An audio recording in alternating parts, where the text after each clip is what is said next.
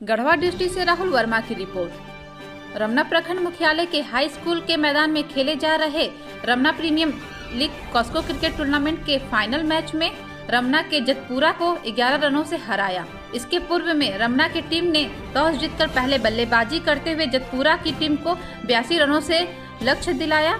जवाबी पारी खेलते हुए जतपुरा की टीम ने मात्र 70 रन ही बना पाए। इस अवसर पर विधायक प्रतिनिधि पंकज कुमार सिंह, अनुज कुमार चंद्रवंशी सोनू सिंह टीवीएस सोना ऑटो के संचालक राहुल कुमार समाज सेवी सुनील प्रसाद, पवन गुप्ता ने सामूहिक रूप से विजेता टीम का ट्रॉफी प्रदान की।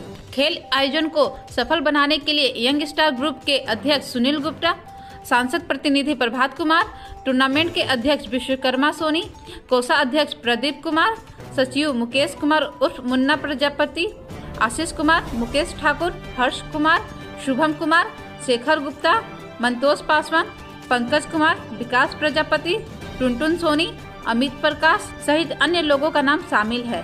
कार्यक्रम का संचालक अजित सोनी ने किया। खबरें और महत्वपूर्ण जानकारी के लिए कड़वा दृष्टि यूट्यूब चैनल को सब्सक्राइब करें।